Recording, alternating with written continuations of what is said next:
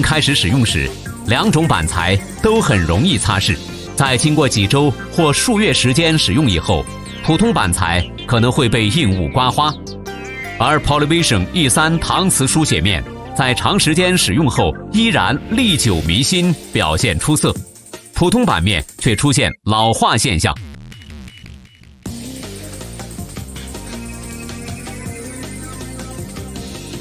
如对产品有兴趣或需要任何。